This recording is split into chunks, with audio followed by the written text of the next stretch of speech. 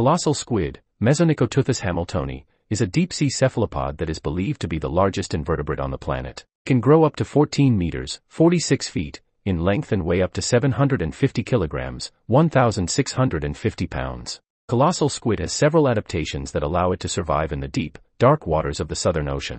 It has large eyes, which are the largest of any known animal, that allow it to see in low light conditions. It also has powerful tentacles, equipped with sharp hooks, that it uses to catch prey, such as fish and other squid.